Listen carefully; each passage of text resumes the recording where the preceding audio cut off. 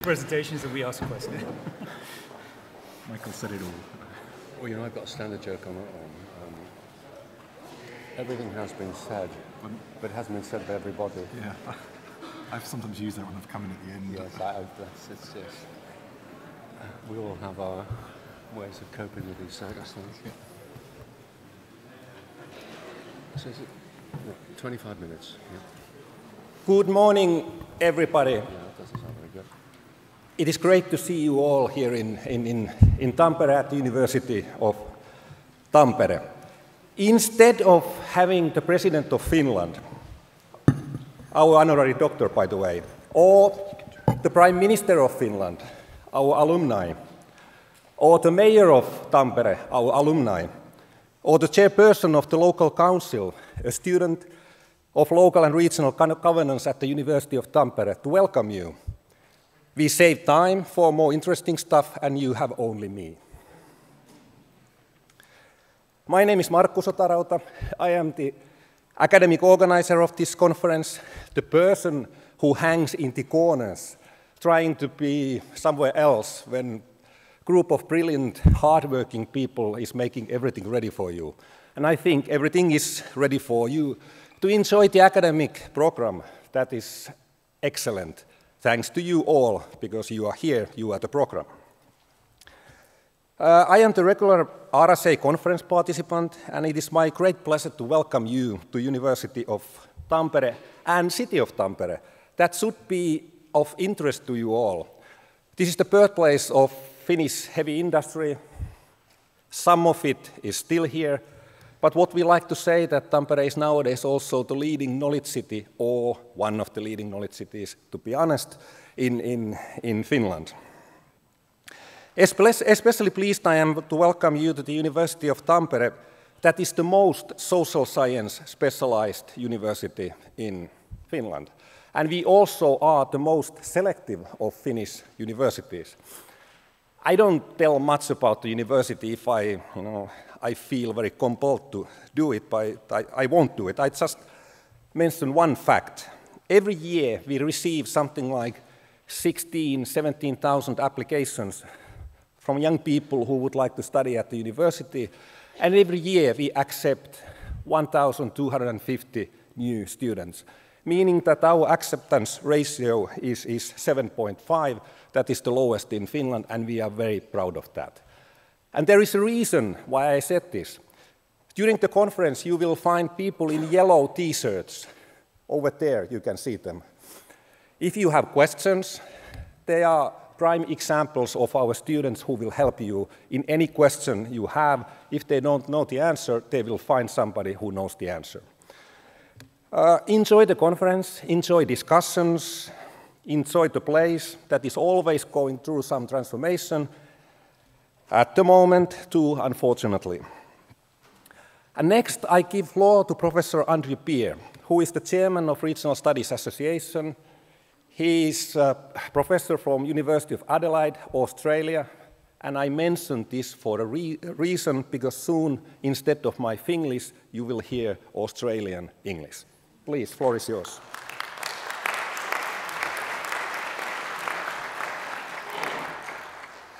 Thank you very much, Markku. Uh, my task today is relatively simple. Firstly, I'd like to welcome you all to this meeting of the Regional Studies Association and also pass on my thanks on behalf of all of you and the Regional Studies Association to Markku and his team for the excellent job they've done in organising this conference. Thanks also go to Lisa Reynolds and the RSA team for their part in ensuring the success of what promises to be a fantastic meeting of academic minds around a whole series of regional issues. I'd like to thank the University of Tampere for hosting the conference, and I'd also like to thank the City of Tampere for hosting the reception that we can look forward to on Tuesday evening. I understand that it is going to be a rare honour and privilege for those of us lucky to take place. I'd like to just give you a few words on the Regional Studies uh, Uh, regional Studies Association to take away with you. And they're just four points. Firstly, I'd like to remind you about our membership. Our membership continues to grow with the 56% growth since 2007. Our early career and student memberships are growing robustly based on the services that the Association offers, including funding, career specific events, mentored publishing assistance through regional insights, and special networking events at our conferences and through the bespoke Facebook site. And I'll draw your attention to the fact that many of those opportunities are available at this conference.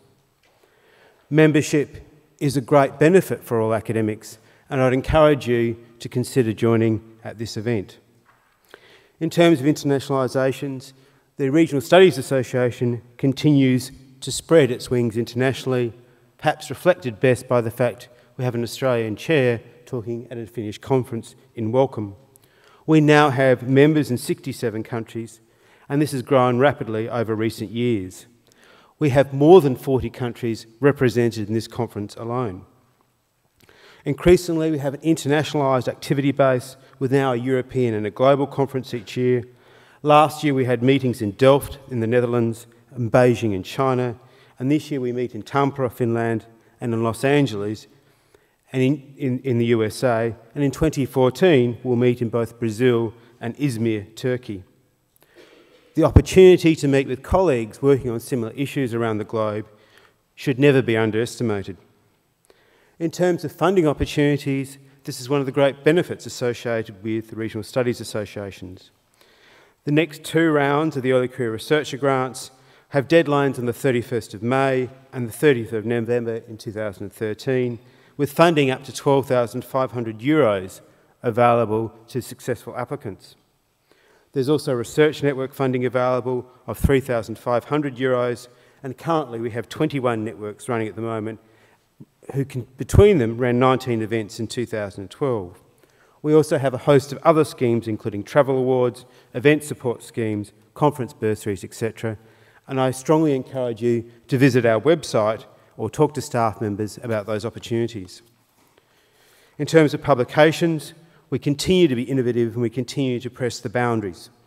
Territory Politics Governance has just launched its first issue, and you can see copies of that uh, in the foyer outside.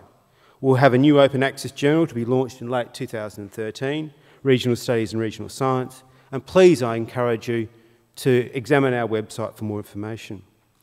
I'd also encourage you to consider attending the session at 11.30 today in Pinni B, room B4116, on open access publishing, a critical issue that's going to shape the academic lives and the publication strategies of many academics in many parts of the world. So on that note, I once again thank our hosts and I thank you for your attendance and I encourage you to enjoy what I expect will be a fantastic conference. Thank you very much.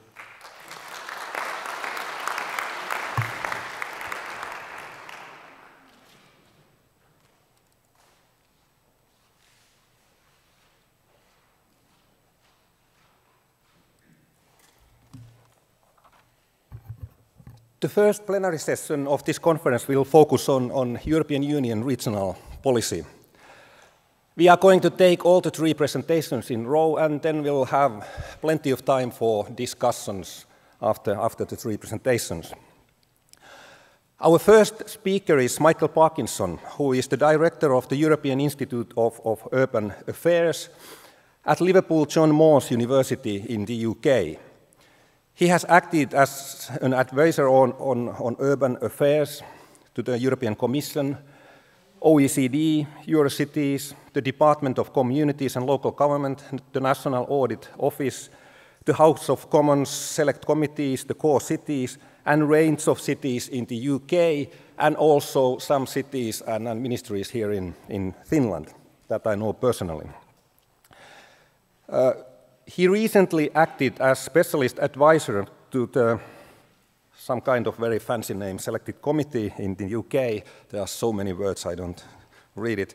He has generated over 8 million pounds in research funds to assess the development of cities, urban policy and regeneration in the UK and Europe. He lectures extensively nationally and internationally, and he is a regular contributor to the media too. He was made commander of the British Empire for services to urban regeneration in 2007. Uh, he led for DG Regio of the European Commission, the ESPON project, second tier cities in Europe in an age of austerity, why invest beyond the capitals?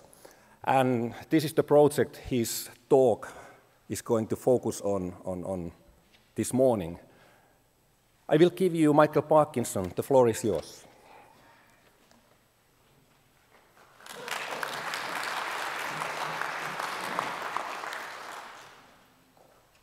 Gosh, I hadn't realized I was so famous. As they say, if my father uh, was alive and heard you say all those wonderful things, um, he'd have been really very pleased, Marco. If my mother was here, she would actually believe it was true, but that's an entirely different thing.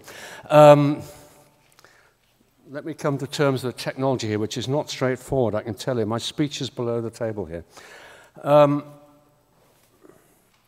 it's quarter past nine. I'm going to stop at 20 to 10 wherever I am in this talk, I promise you. Um, okay, first of all, my thanks.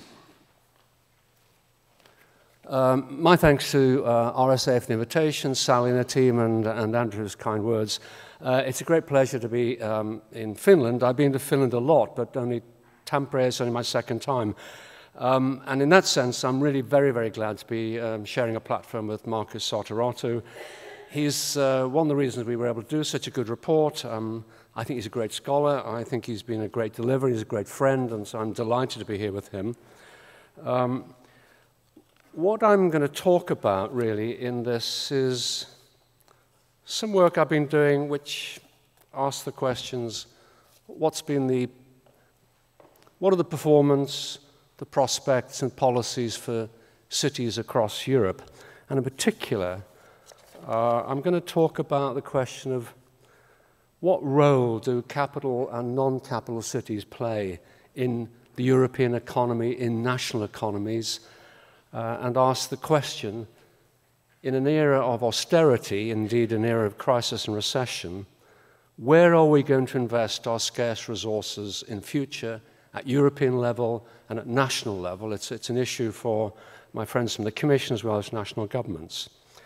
And pretty obviously, those questions about territorial balance, territorial hierarchy, territorial governance, territorial investment, these are standard, classic, old fashioned debates we have all the time. But it has been given huge urgency by the crisis which is upon us because with scarce public and private resources, the investment decisions we make in the next decade are going to shape kind of our territory for two or three decades. And I think there's a risk we're going to abandon investment beyond the capitals. That's my kind of point. I mean, capitals clearly are hugely significant to national economies. They have all the agglomeration advantages. Um, they're often a source of government, centers government decision making. They're wide into the global economies. They have investment opportunities. They have research and uh, facilities. Um, they often attract all the prestige projects. But in a way, non capital cities can also make a significant contribution to national and therefore, I would argue, European performance. And partly because of the negative externalities of growth, I think there's a huge opportunity to ask the question where should we be putting our public and private money in the next decade? I have say, urban policymakers across Europe um, seem sort of agnostic on this issue. There's not a great deal of what I'd call explicit debate about these issues, and the default position typically is to, continue to invest where we typically invest, which typically means the capital. So there's, uh, th that debate, I think, needs to be opened up. If you go to economists and analysts for advice, it's not much better, actually, because you've got basically what economists say depend where they sit. So you get a gang of free market economists who effectively argue about agglomeration economies and therefore talk about let the market determine, in which case the capital will grow. Or you get another set of economists who believe much more in the public sector and intervention, who talk about shaping and steering our kind of national territorial hierarchy uh, by investment decisions. But we have an awful lot of sort of huffing and puffing and not much evidence. And I'm trying to give some evidence. On the whole, um, I've been very taken with the work of the OECD in recent years, who are obviously looking at regions rather than cities. And they've been developing a very interesting model, which we are sort of applying at a city level, asking the question where does growth come from? And what they're talking about is the long territorial tail with um, a lot of growth from a small, small number of places at the top and very little growth from a small number of places at the bottom, but a huge amount of growth in the middle. And to some extent, you can argue we haven't had all the growth out of our capitals we can get, but we may be near the maximum. There are places at the tail from which you're going to get not very much growth. But the fact is, most growth in the last 10 or 15 years before the crisis came out of that middle bit of the territorial tail. So I'm kind of interested um, if that works for city regions. Okay. That's my first five minutes. Um, I'm going to ask four questions, really, since um, on the project itself, um, who are we? What, we what were we trying to do? Um, how do we do it? But really, the only interesting question you want to know is, you know, not who are they and, and what were they asked to do, but what are the kind of key policy messages for us today? Who are we? I mean, transnational gang, my own institute, colleagues in Budapest, and I just put this up because Marcus Sotarauta, University of Tampere, played a very important part in discussion, advising, and Peter Hall um, and Christian Lefèvre from Paris. What are we trying to do? Answer a set of questions which I think become increasingly compelling, as I say, in the, uh, the next decade, perhaps, of the, the crisis. Get some questions on what economic contribution to capital and second-tier cities make to national and EU performance? Which of those, which of those cities are, quote, punching their weight economically, uh, nationally, and at European level, and how and why? Um, what's been already the territorial impact of the crisis, and what are the implications of the crisis going to be? Um, who's going to do what better or differently in future? Because after all, that is the key question. Who are the second tiers? We had a lot of discussion of this. Um, I came down to fairly common sense deci decision that the second tier cities in any national economy are those larger non-capital cities whose economic performance is significant to the national economy either because it is dragging it along or is dragging down. Um, and what we did, and of course, as I'm not a geographer and you lot are, whole questions of boundaries is very, very complicated. But what we've tried to do is work with agreed set of boundaries, and what we've taken as the OECD European Commission agreed metro region boundaries across Europe because that gives us a pretty robust comparable database.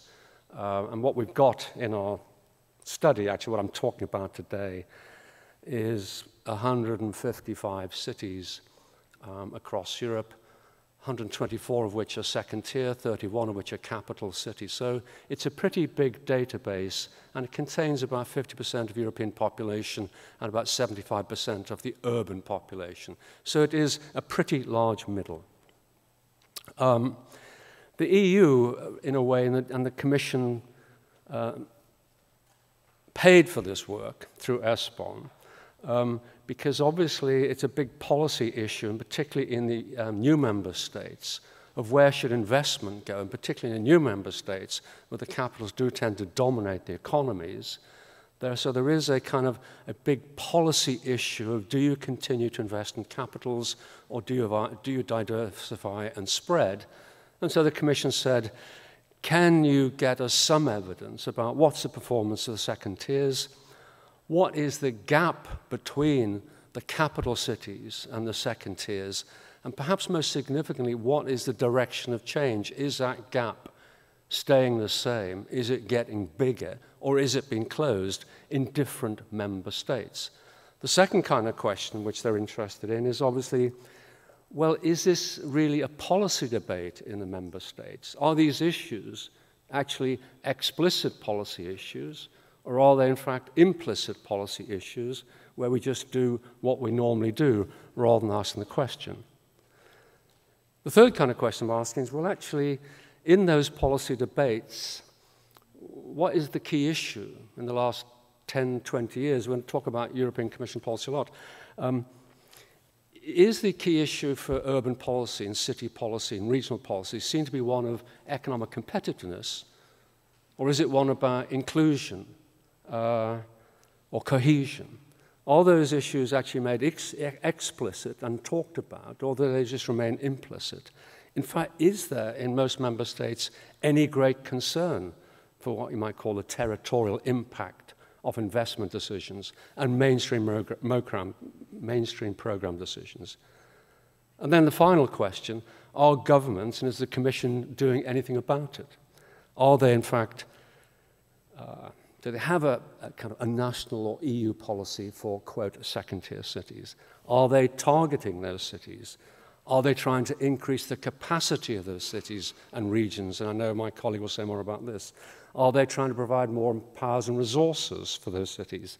Are they imposing fewer constraints? So that's, that's the policy context, where, which is why this matters. What I'm trying to do, um, right, got rid of that. Is test a set of key arguments. Um, what is the evidence, if any, that if we decentralize powers and resources away from the nation state to cities and regions, if we deconcentrate national investment publicly and privately, what will be the relationship between our national economies? And if we deconcentrate and decentralize, will we get higher performing cities and higher performing national economies or not? What's the evidence? Um, secondly, what is the evidence if we get better performing second tier cities that we will get better performing national and European economies? Thirdly, we're asked to have a look at the, the, the issue of what is the relationship between investment in capital and, and non capital cities anyway? Is it kind of win win, which it would be if all those first things were true? Or is it actually zero sum, as actually is typically the policy debate in many of those countries, in which the argument is you can't invest everywhere, you have to choose, you have to invest in the capital. Um, we wanted to explore the argument basically that national policies for second tier cities are absolutely crucial because they are the drivers.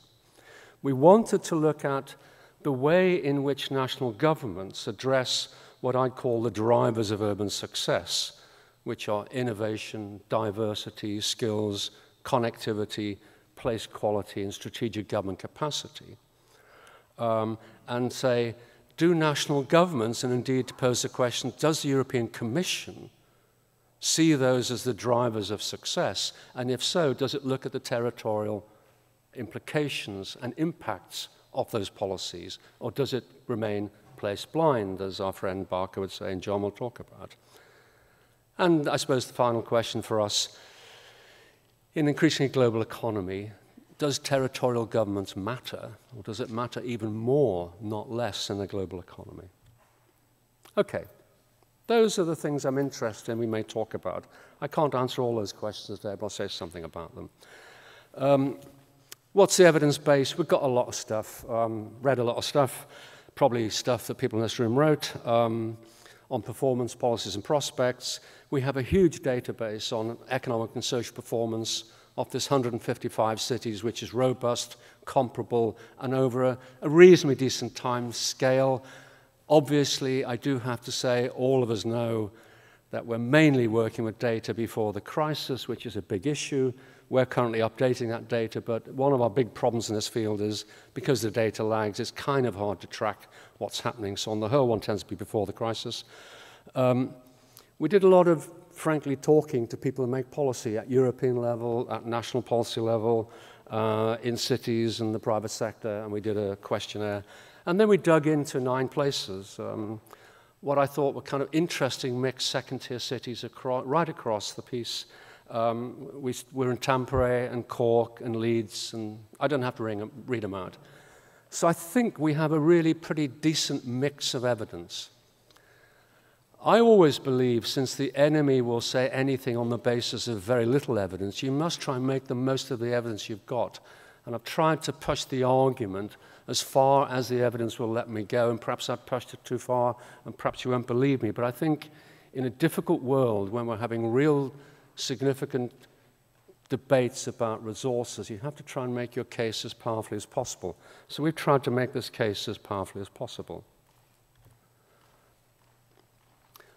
So I'm going to talk about the performance messages first, and then I'm going to talk about the policy messages next. Um, what are the big messages that come out of this? Uh, remember, there is absolutely nothing new under the sun. Any study always says what someone said last time. We're all standing on the shoulders of giants. Um, but what it does so is that, you know, across the piece, the performance of city regions, and I, I'm call, I should call them city regions, my metro regions, functional urban regions, city regions. I'm talking here about the functional urban region economies. I'm not talking about the narrow administrative boundaries. So that's what I'm talking about. Uh, and what we're saying, frankly, is their performance is hugely crucial to national economic competitiveness. Where they do well, the nation does well. Where they don't, they don't. Secondly, it is absolutely clear that in terms of the baseline, there is a huge gap in most European countries in our 31 ESPON territories between the capital and the second tier cities. And it's pretty clear um, that in virtually every country across Europe, the capital is the dominant economic player in the national economy, but that relationship varies and is changing. It is not homogeneous, it is not standard, and it is not invariable. Um, the fourth point, very obviously, and this is why I cited the issue about East, the new member states, Eastern Europe, capital cities dominate much more in the East and the new member states than they do in the West. There is a particular model there uh, where you do have primate cities. But if that's the kind of the baseline thing, if you look at the performance thing, actually many second tier cities made a growing contribution to national prosperity during the nice decade, the boom decade from the early 90s to 2000 and 2008. And the argument coming across was that the investment that took place in those boom years, because national economies were booming, actually paid off. And we find in a number of countries, I'll show you, quote, the second tier cities, not the capital cities, were the most successful places in their economy and brought more to the national economy, and then one would argue bring more to the European economy. Um, I'm going to show you some figures. I imagine you're not going to be able to see them because you usually can't see them. Um, but what I'm going to say, show you first is something about baseline, something about trend. In terms of the baseline, it's pretty obvious that uh, the capitals dominate, but not everywhere and they dominate differently. I'm going to show you a set of countries, in fact, where actually the capital is not the largest contributor to the national economy. And Germany, the most successful country in Europe still, is not dominated by the capital. There are historical reasons, I know, but it has a series of high performing second tier cities. Um, as we go into Austria, Italy, Belgium, and Ireland, or I think the Cork measure is a bit strange, you find places where the second tier cities are better than the capital and they're way above the national performance. However, they are the exception. In most places beyond those, the capital dominates. Sometimes by 5 and 20%, Spain, my own country, Netherlands, France, in some countries, it is terribly dominated by the capital, 20, 30%, Denmark, Poland, Sweden, Finland, Portugal. When we get into East, the gap gets very big indeed. You can read it, Hungary, Romania. The capital is 30 to 45% larger. Um, I'm talking GDP per capita, um, standard purchasing power 2007, incidentally. Uh, and then you get to these uh, newly emerging East European countries, where the capital is pretty much half or two thirds of the national economy. So remember, some of the most successful countries had more high performing cities which outbeat their capital. If that's the baseline, I mean, it's a big, a big step up. Um, what's the trend? Uh, we just looked at performance in the nice decade from 97 to 2007. Um, there was very interesting. Uh, 2000 2007, looking at GDP per capita and average annual change, we found a set of countries, um, and they tend to be those which are already most decentralized, where the second tier cities were actually two and a half times better than the capital. You know, Germany, Italy, France, Norway, Spain, Austria. You know, so there's an example which matches the OECD data of high performing second tier cities. Um, there you had growth, but at slightly lower levels. Uh, and then we're back into the countries, and particularly in the East, where the capitals remain dominant. So the kind of message there is that the parts of Europe which actually did better uh, in the nice decade were those which had, frankly, again, better performing second tier cities, and we saw that in many cases they were better performing than the national capitals. Governance matters in all of this. What I've tried to do, what we tried to do, was ask the question um, about decentralization, deconcentration. We, we measure this in a, in a complicated set of ways, partly about fiscal capacity, but partly just ask the question where, decision where does decision-making power lie nation state, regions, or cities, and, and developed an index.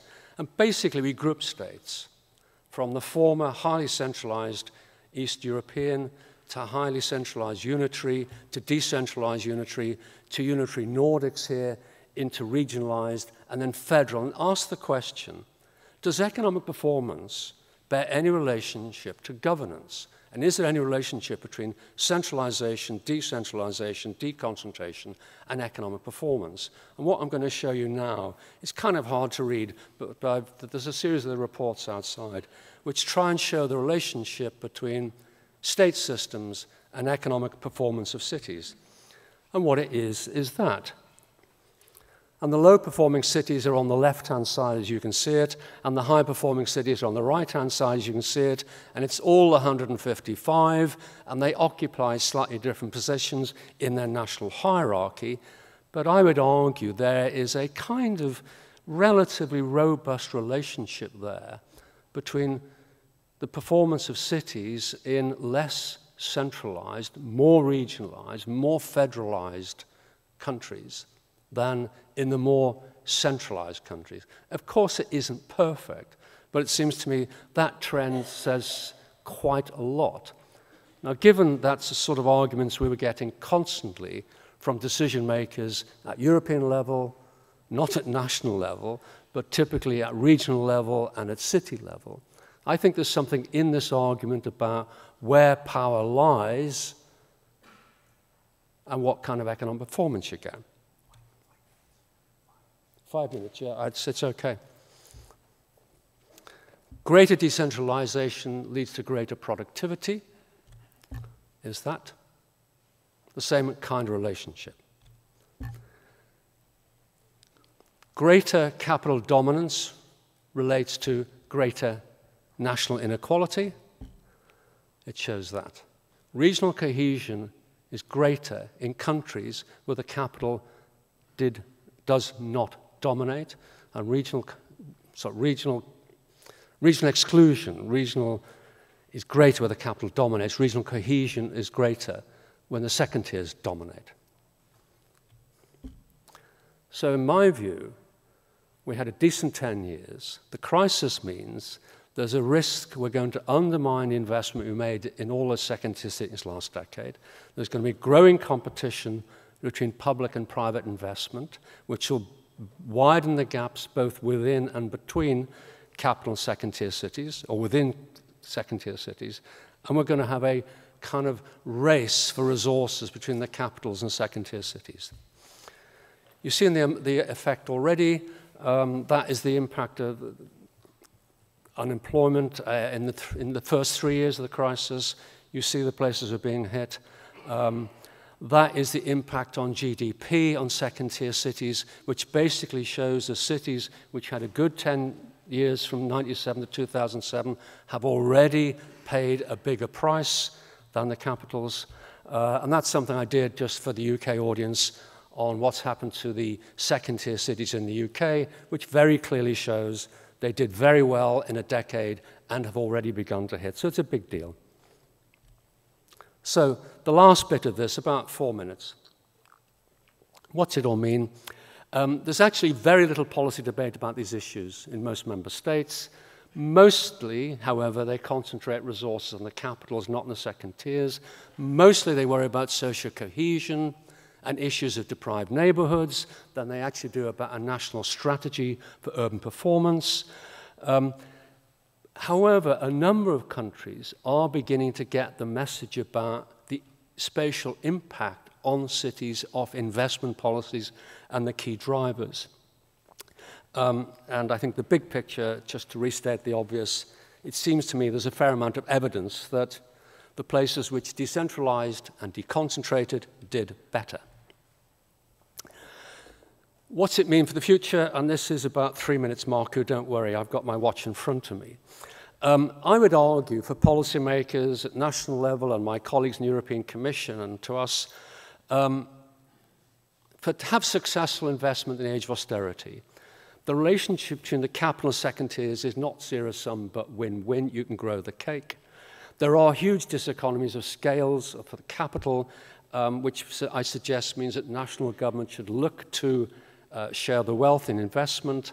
Second tier cities could easily absorb the overspill and the pressure upon capitals.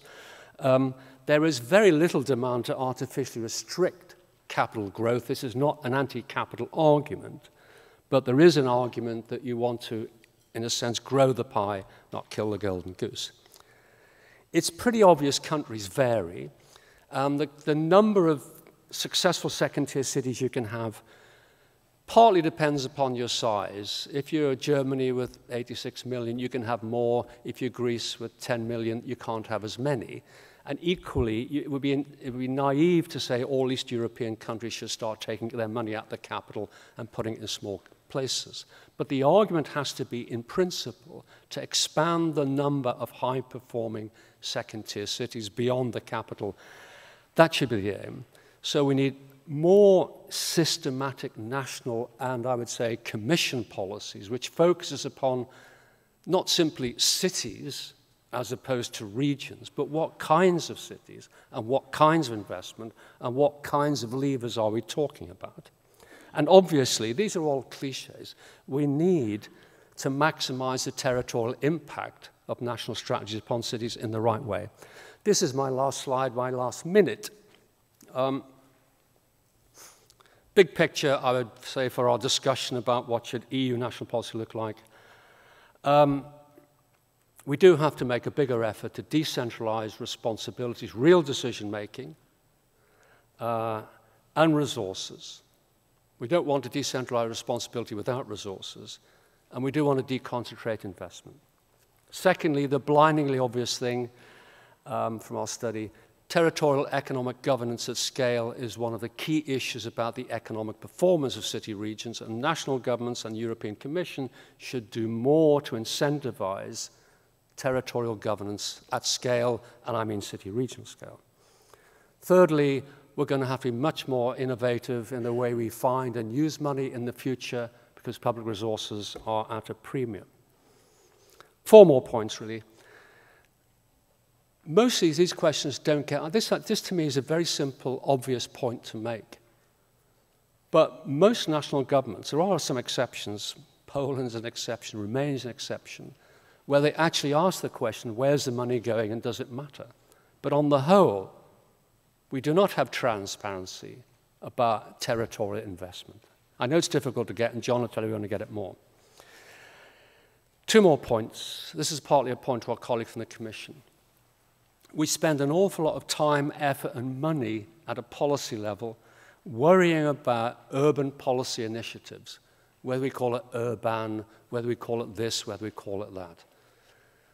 There's not much money in that. The key issue for national governments and the Commission that what are the activities and actions and resources and policies of main government departments and, frankly, directorates beyond DG Regio, what's their contribution to this debate? What impact are they having? And that is debate we need to have furthermore.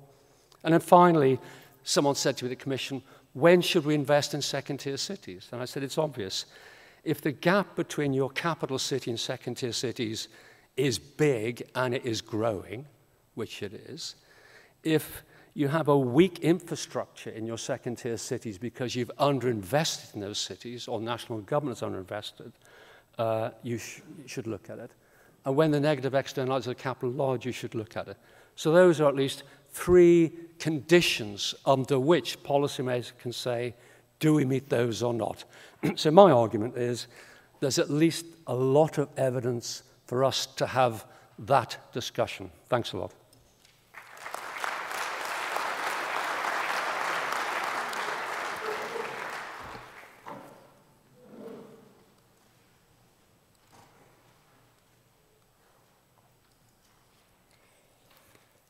What Michael didn't mention is that, that this report is available in the internet and it's something like 800 pages.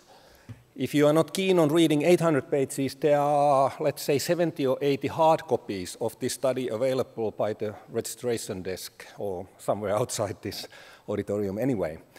Uh, our second speaker is John Bachtler, who is Professor of European Policy Studies and Director of the European Policies Research Center in, in Scotland. His research ex experience is principal, principally in regional and industrial development in Europe, encompassing the economic development policies of the EU, 27 member states, and several other European countries.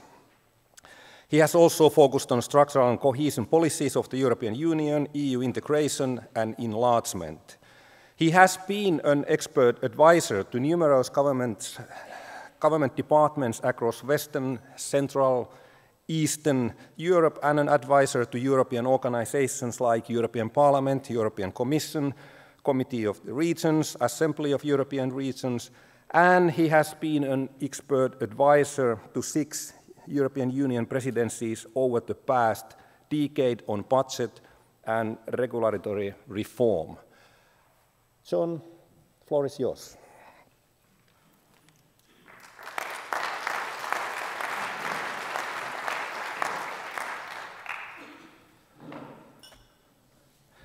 Well, good morning, everyone. Thank you very much, Markku, for that introduction, and thank you to the RSA um, for the invitation um, to this very interesting conference.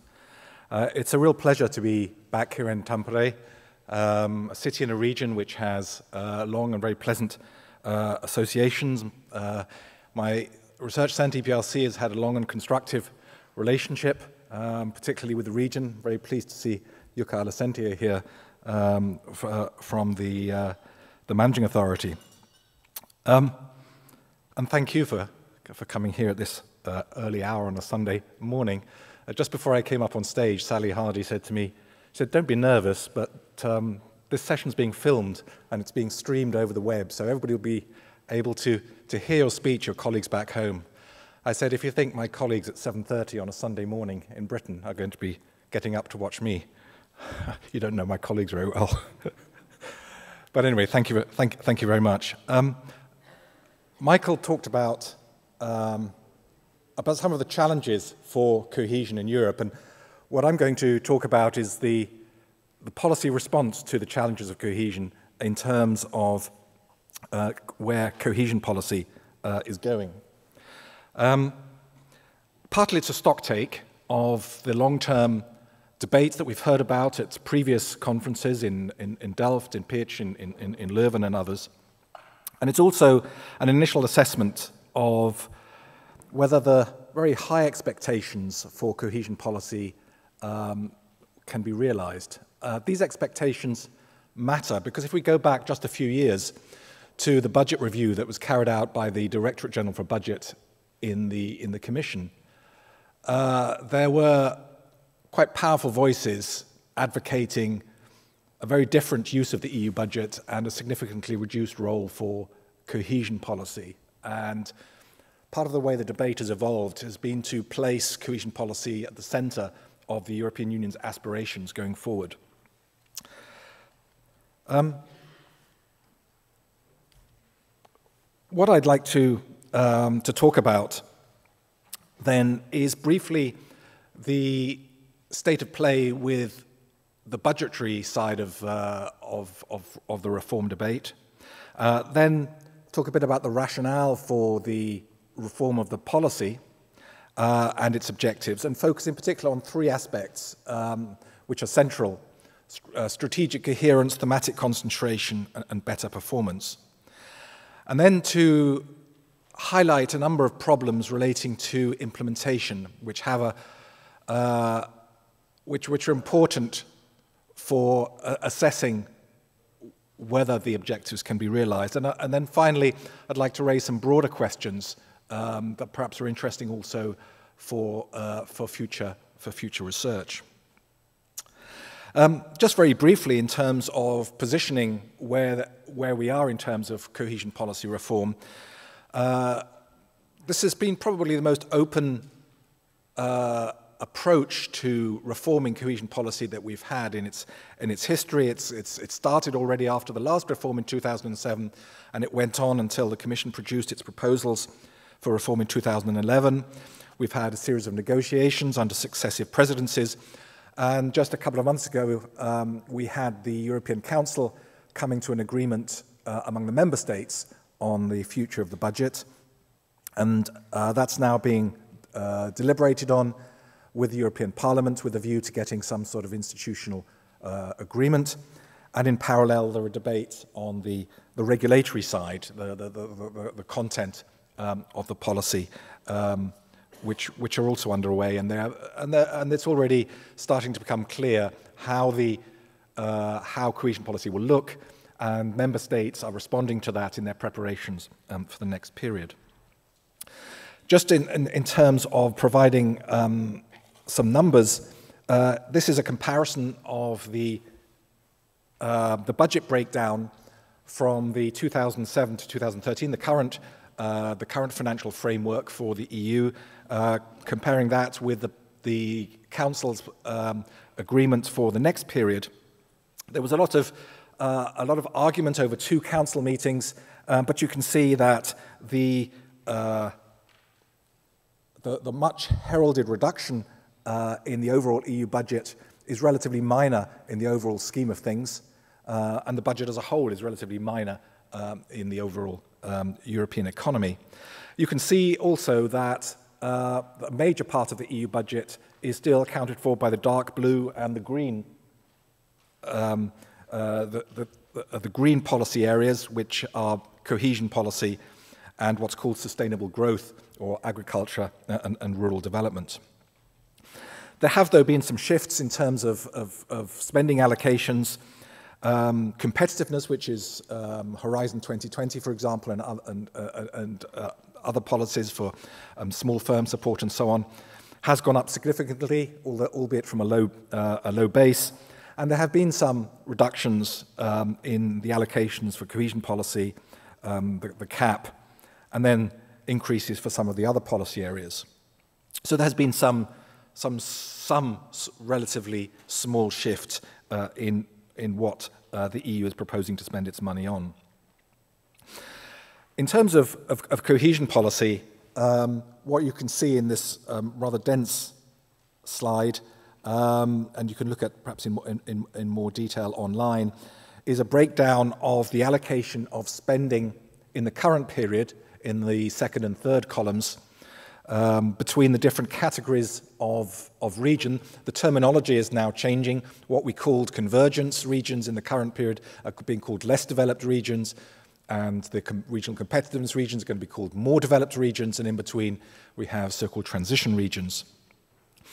Um, and then uh, what we've got in successive columns are the, what the Commission, uh, European Commission initially proposed and what the Council agreed um, in February. But this is what the Council agreed. The European Parliament um, are still, uh, have still to make their influence um, felt.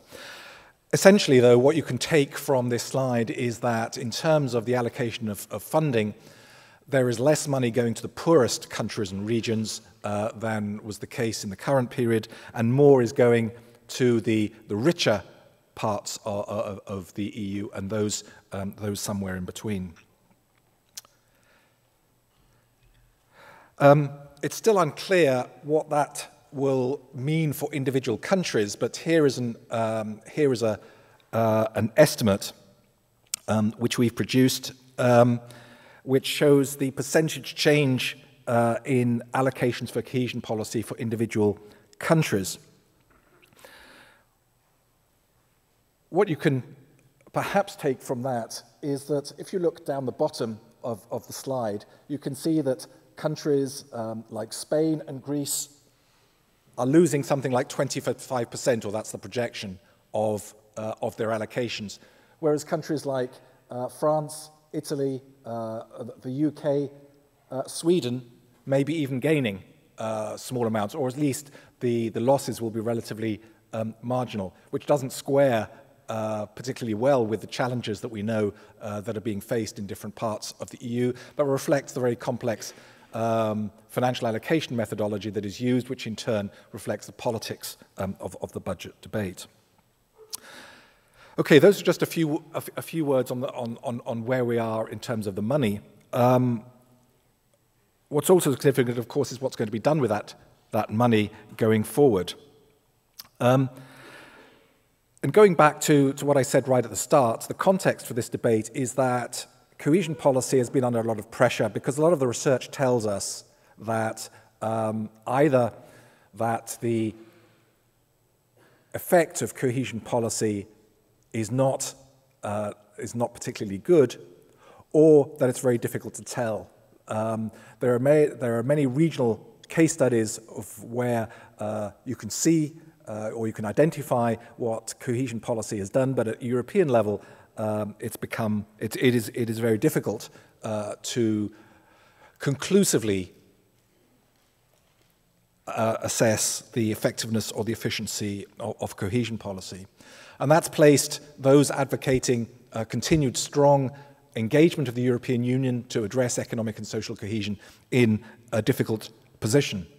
And so what the, the, the tactical choice that the European Commission made was to argue that cohesion policy, because of the nature of the, the multi-level governance system, is actually an excellent uh, delivery vehicle, in, in, in, uh, in, as the way it was put, for implementing broader European objectives, certainly those expressed in the uh, uh Europe 2020 strategy, uh, which sets out targets for the European Union in terms of um, increased uh, investment in R&D, uh, increasing uh, the employment rate, uh, reducing green, greenhouse gases, and, and, and, and so on. So the argument put forward by those pressing for continued strong cohesion policy as part of the European budget was that, firstly, cohesion policy could deliver on, on overall EU objectives, and secondly, that there was scope for significantly improving its performance, or uh, in, the, in, in the language of, you, of communiques, the quality of, of spending. And this is where the objectives to improve the strategic coherence, concentration, and performance of interventions um, originate. What I'd like to do is just say a few, a few words on these, uh, these rationales uh, and, and objectives, uh, where they came from, and how uh, the challenges or the problems are meant to be uh, addressed. Let's start with strategic coherence um, and, and, and try and explain what that actually means. The problems here originate primarily from, from practice, from the experience of implementing the structural and, and cohesion funds. The problems are that you've got these different funding instruments, the European Regional Development Fund, the European Social Fund, uh, the, the Rural Development Fund, and the Cohesion Fund, and so on. You've got these different funding instruments. They each have different objectives, they each have different rules, different procedures. So first of all, you've got uh, a, a, mix of, of, of, different funding instruments. Secondly, um, there's the, been the problem that member states have not been particularly good at delivering on what the funding is meant to be used for. You have um, a long debate at the start, uh, goals and objectives which are set, but then in the process of translating those into member state plans and programs on the ground, um, essentially national priorities or regional priorities take over. Um, uh, and there's a, an insufficient linkage between uh, development needs and challenges on the ground and, and overall European uh, uh um, uh, uh, objectives. And thirdly, um, these different funding instruments have been implemented in, in, in, in very different ways, often in, in sort of silos uh, between, so different government ministries, different government agencies have been doing essentially um, their, their own thing. So the, the solution to this was to have a common strategic framework, or is to have a common strategic framework for all of the, the funding instruments, and that there would be partnership contracts, that the member states would make contracts with the European Commission um, that would provide the Commission with greater leverage over what member states are doing, and that there would be more integration of, of institutional arrangements, that there would be more coherence and coordination. Um, where we are now is that this uh, framework um, has, been, has been agreed, and the Commission has translated it into so-called position papers, where it's done an analysis of each country's development challenges and, uh, uh, and proposed what priorities each member state should spend the money on. However, in the negotiations, what was initially called partnership contracts have become partnership agreements, which are, which are, are less binding straight away from the terminology, but also less binding in terms of what member states are prepared to, um, to sign up to. Uh, we, uh, it's still unclear how effective those, those agreements are going to be. On the other hand, um, what does seem to be clear from looking around what member states are doing is that uh, there is a, a, serious effort, at least in some countries, to try and find ways of bringing all these different funding instruments together under um, in a more uh, in, in, in, frameworks or uh, other institutional arrangements that um, that will make a more strategic approach possible. And I've I've listed um, some ways that uh, different member states are trying to do that uh, on screen. So uh, the first set of issues relate to uh, the, the institutional management, if you like, um, of the funding to try and, uh, and make it more coherent. A second set of issues, they are associated with the politics rather than um, the practice, although they, they touch on practice as well. And these, uh, uh and, and the politics um, of the debate um, have brought to light the lack of coherence that cohesion policy has had with overall EU objectives. In the current period, there's been an effort to um, focus spending more on what um, was called the Lisbon Agenda, uh, not always with great, uh, great success. Um, and there's been a general problem of um, the dispersal of funding over a large number of priorities um, within member states, um, often too small to make a, a, a significant difference um, to, uh, uh, in, terms of achieving overall objectives. So the proposed solution here is to maximize what cohesion policy can contribute to these goals of Europe 2020 that I was just talking about um, by having 11 thematic priorities on which all of the funding would be concentrated, and even more so, that most of the funding would be concentrated on just a handful of these priorities. Initially, the Commission proposed that 80% of funding in the more developed regions should be concentrated on research and innovation, on small firm competitiveness, uh, and on the low carbon economy. In the negotiations, that's been, that's been weakened, uh, but the, the principle of concentration um, applies. Uh, and in its position papers, in, in what the Commission has been sending out to member states, um, it has been recommending how different countries should spend the money. What you can see down on the, on the, on the left-hand side of the screen are these 11 thematic priorities. The first um, seven of those uh, relate to the European Regional Development Fund, uh, the next few to the European Social Fund, and the last one, institutional capacity, which will, which will be coming on to. You can see in the countries like Austria, Denmark, and the United Kingdom, the Commission is recommending um, that only uh, seven of those priorities um, should feature uh, in the plans for spending in the next period and successively more um, as the development needs of countries um, multiply.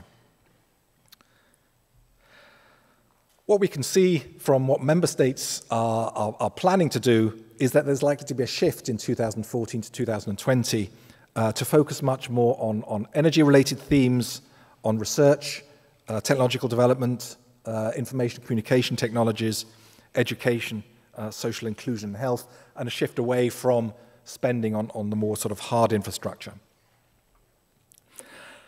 The third of the issues um, that uh, the, the Commission uh, that, uh, or the EU as a whole is wanting to address is, is better performance. And this is perhaps the most fundamental of the issues for the future of, of cohesion policy. And a lot of this, the problems that have been identified here, emerge from the research and evaluation that's been conducted over the last decade. What we, can, what we, what we know from, from, from research, from the research evidence, is that the kind of objectives that have been set for structural and cohesion fund spending have often been unrealistic or unjustified.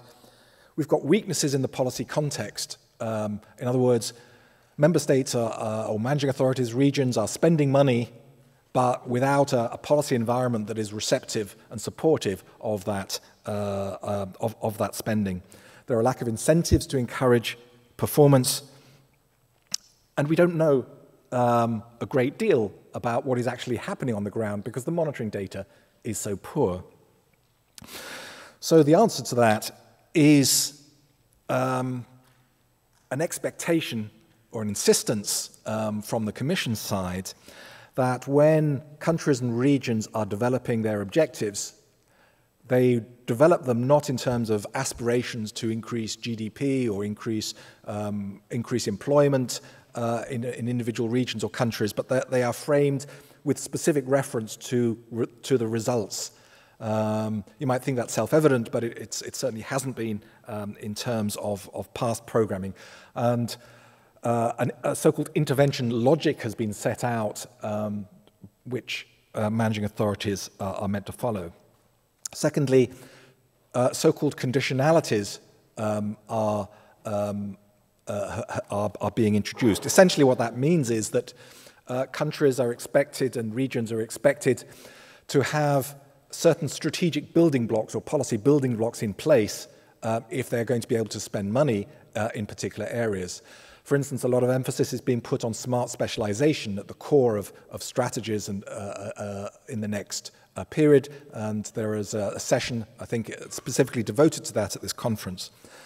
What, uh, in, in order to be able to go forward, uh, countries and regions are expected to have a smart specialization strategy uh, to, uh, to be able to, to, to spend money. A performance reserve is also being debated, something that has been tried not with um, terribly, uh, with, with a great deal of success, where essentially some part of the funding is kept back uh, and given to programs that uh, perform the best. I, I think probably only, only Italy has, has really tried hard to make that, um, that work in the past.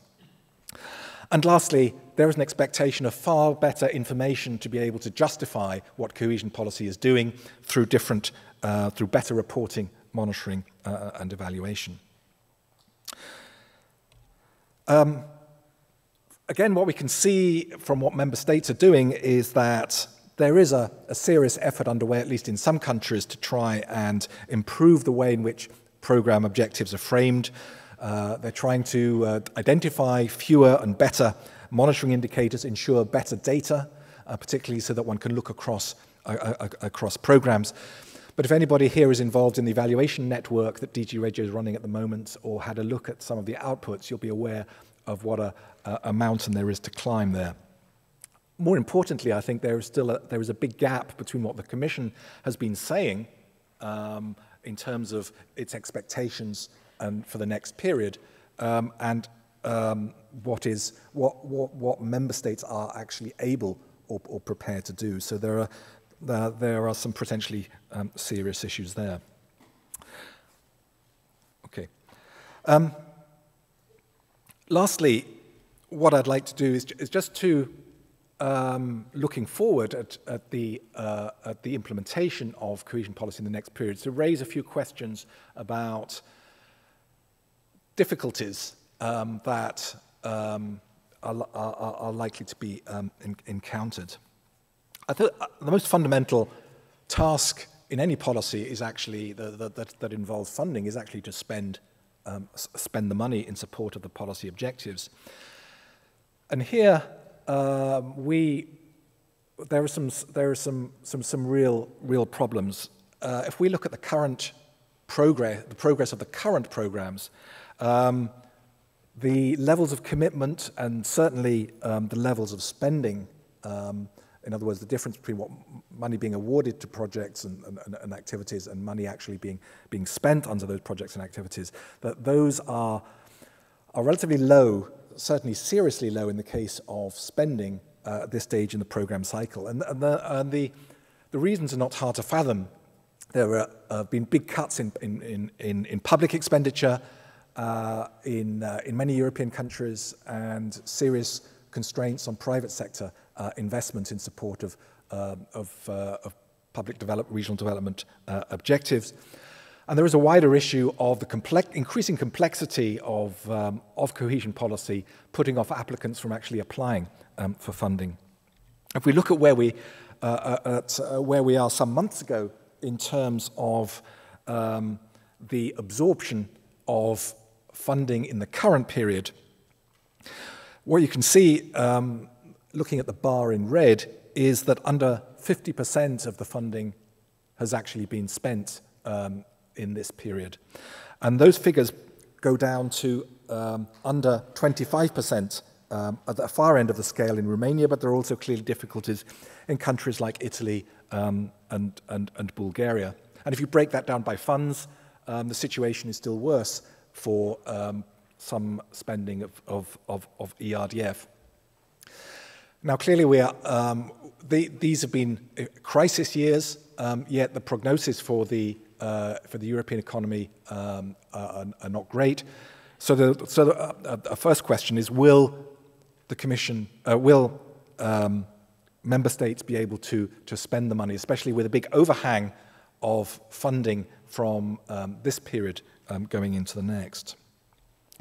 A second question is capacity, administrative capacity. And I'll not say too much about this because, because Pascal is focusing on this uh, heavily in the next presentation. A lot of the research and evaluation evidence tells us that at the heart of the problems that we've had with the performance of cohesion policy um, is insufficient administrative capacity of, of, of different kinds. That relates to the legality of spending, in other words, being able to spend the money in line with European Union rules. Um, we've seen a whole variety of, of programs suspended or stopped in this current period. Uh, some of the most serious issues are in, in Southeast Europe, but not exclusively. We've seen uh, suspensions of funding in, in, uh, in the UK uh, and other uh, more developed countries as well in recent years. And the, those relate to problems with being able to comply with, it, with, with the rules on public procurement, state aids, and so on. But there's also capacity issues at the, at the root of the, the difficulties um, in ensuring the, what, the, the quality of spending, to use the terminology that's used um, at, at, at EU level. And that's related to uh, factors like instability, constant sort of change, organizational um, reforms, changes, turnover of staff. It's related to the politicization of project selection, verging on corruption um, in, in, in some cases, choosing projects according to political pressure rather than um, the, the, the, the best projects or those that have the best strategic fit. It also stems from lack of specialist expertise, particularly in terms of implementing what are called financial instruments, sort of early stage risk capital and other uh, other forms of, uh, of, of funding for, uh, for new and high growth firms uh, and in areas like, like innovation. And also weaknesses of, of monitoring systems and the ability to actually record uh, uh, and assess what is being done with, with the funding. And to a significant extent, those are part of a wider set of problems um, in terms of the quality of government and governance um, in, in, in a number of countries, which we can see from um, uh, from the work done by Transparency International and, and, and, and, and, and other bodies. And lastly, I think there are issues concerning the ability of the EU to control what is actually being done with, with, with the funding. Under this multi-level governance system or shared management in EU speak uh, between the European level and the, uh, and the member states in terms of the implementation of funding, the member states have been very reluctant to give the Commission sufficient powers to enforce improvements uh, uh, in, in, in performance. And so we've seen systematically Commission putting forward quite strong proposals. Those have been weakened in negotiations with uneven um, compliance. And we can see that with a whole variety of, uh, of, uh, of, of, of examples. Um, so better performance uh, in the next period will, will very much depend on whether the member states are actually committed to the goals uh, that, that, that they've signed up to um, in the, uh, the council negotiations. The European Parliament will have a bigger role. Will they be prepared to exercise that, their, their, their influence in terms of providing oversight, not just on the money uh, through the Budget Committee, but also on the outcomes and the results through the Regional Development Committee? And will there be transparent reporting? Um, will there be, will the council, I mean, the council don't have uh, a committee specifically for assessing what is being done with the second largest area of the EU budget. They don't have a specific council committee for uh, cohesion policy to, uh, to have, provide a regular assessment of, of what is done with the policy. So there are a whole series of implementation um, questions. Finally, let me flag up a number of wider questions that are potentially interesting to consider for the longer term future of cohesion policy and, and, and also in terms of thinking about, about research.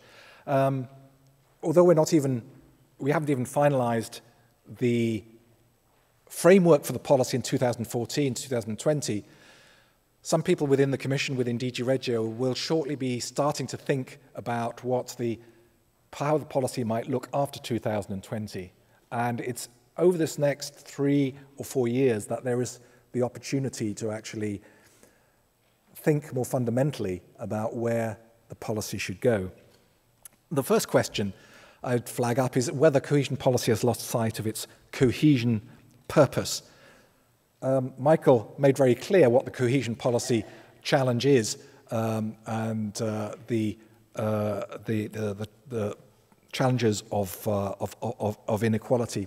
Yeah, what we're seeing in the framework that's being put in place for the next period is a a shift away from the, if you like, the traditional focus of cohesion policy. It's got uh, a much more thematic or sectoral focus, and, and that's associated with a certain loss of, of territoriality. There are certain elements um, of, of uh, to promote a territorial dimension in the, the regulatory framework, but they're almost they're relatively minor. It's, it's almost as if they've been added in um, uh, at, at the last minute. So this shift to make cohesion policy the delivery vehicle for these wider sectoral and thematic objectives that um, the EU has is loss as associated with a certain loss of, of, of regional or, ter or territorial focus. A second issue is concerns the implementation architecture and whether uh, the the structure that we have in terms of the multi-level governance model is, is, is, is too complex to actually achieve um, better performance. Is there, uh, is there a way in which the reallocation of competencies um, under the shared management system um, could lead to better outcomes?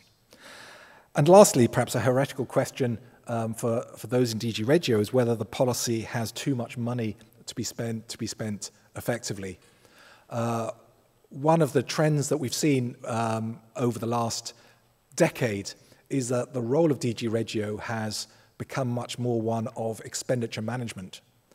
Um, that is potentially starting to shift, particularly through uh, the kind of uh, initiatives that, that Pascal is, is, is leading.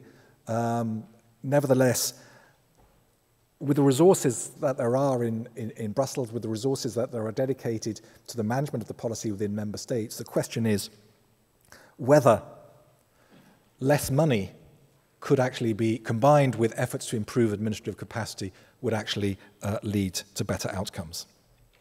Thank you very much indeed.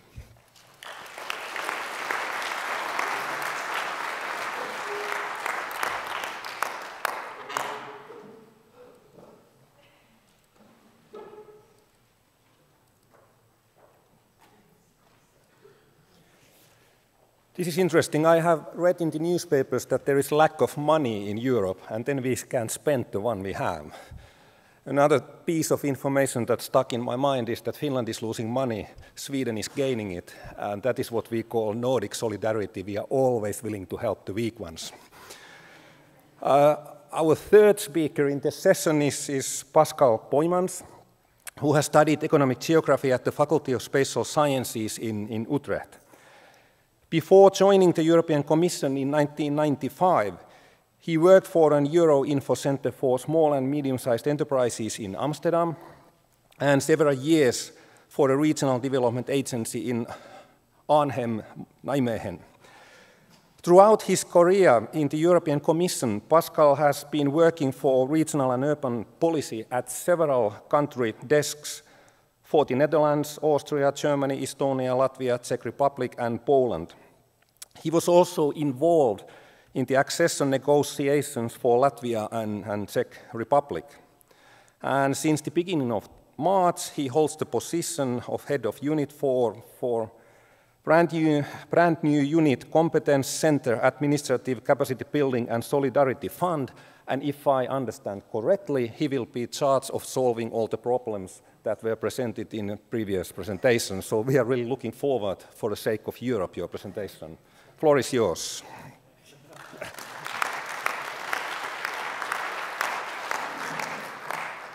Thank you very much, uh, Markku, and thank you for, for yeah, increasing the pressure on me and to solve all the problems related to administrative capacity.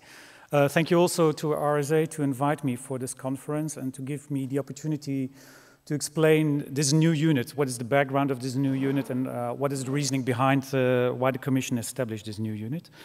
Um, well, the title of my presentation is The Secrets uh, of a Successful Administration for Cohesion Policy. Well, will I be able to reveal all those secrets and will I come up with the perfect solution? No. Uh, unfortunately, also from the side of the Commission, we're also looking for the best solution how to manage uh, structural funds in the next program period, but we certainly also do not have the, the clear-cut answer to all the questions. Um, in the first part of my presentation, I would like to explain a bit more the approach, the approach from which, uh, from the side of the Commission, we uh, address uh, administrative capacity problems and why this new unit was established. And in the second part of my presentation, I would just like to present you concretely what are the actions of our new unit. Well, just um, linking to the presentation of John, uh, well, the major concern of our commissioner, Commissioner Hahn, who is responsible for regional and urban policy, he observes, and we observe, a wide divergence in, uh, within between the member states. First of all, on the absorption capacity of, uh, of the member states, to what extent they have been able to absorb until now the funds, and also in the effectiveness and the efficiency of the management of the funds. Of course, we work in the context of shared management, which means that member states are directly responsible for the implementation and management of their programs. But nevertheless, the Commission has the overall responsibility for uh, cohesion policy. And that's why we try to look within this delicate balance. We would like to see to what extent we can uh, support, let's say, underperforming member states and regions in managing the funds. The next slide, actually, that's a slide, uh, it's a different slide, but it's almost the same slide as John just presented. This is the most updated data on the, the absorption of the, um, of the European Regional Development Fund, the European Social Fund, and the, Cohesion Fund. And where you can see indeed the same pattern as, as John just showed. On the right-hand side, the countries which are best performing until now, it's Ireland, with almost 67% of the, the allocation has already been paid by us to, to, to the Irish authorities followed by Portugal, Lithuania, Estonia, and Sweden. It's the same top five, but a different ranking as John just presented.